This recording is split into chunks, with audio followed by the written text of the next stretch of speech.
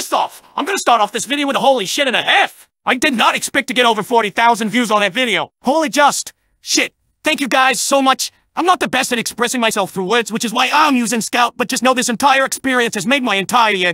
2020 wasn't the best. You know, been feeling like absolute crap. I was considering just quitting YouTube altogether, but then I upload one little video, and boom! It gets more views than I ever expected to get in my life, and I get over 200 subscribers. So, to the chuckleheads watching us, thank you so much. You're freaking awesome. Have a damn good day, and I'll see you next time. Stay tuned for more Team Fortress 2. Art, music, shit posting, and gaming. Also, follow my Twitter